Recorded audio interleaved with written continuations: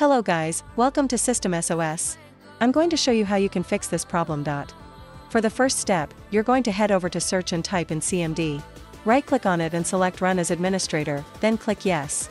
Once in, type in sfc slash scan now and press enter. This will start a system scan.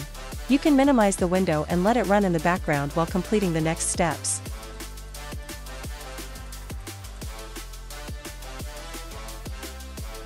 For the second step, go to search again and type in create and format hard disk partitions. Click on it.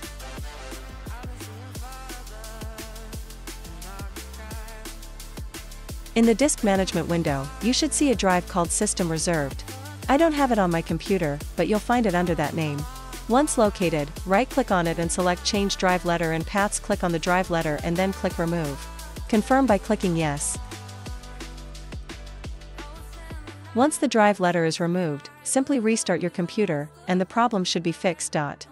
Please guys, if I fixed your problem, then subscribe, 1000 subscribers has always been my dream.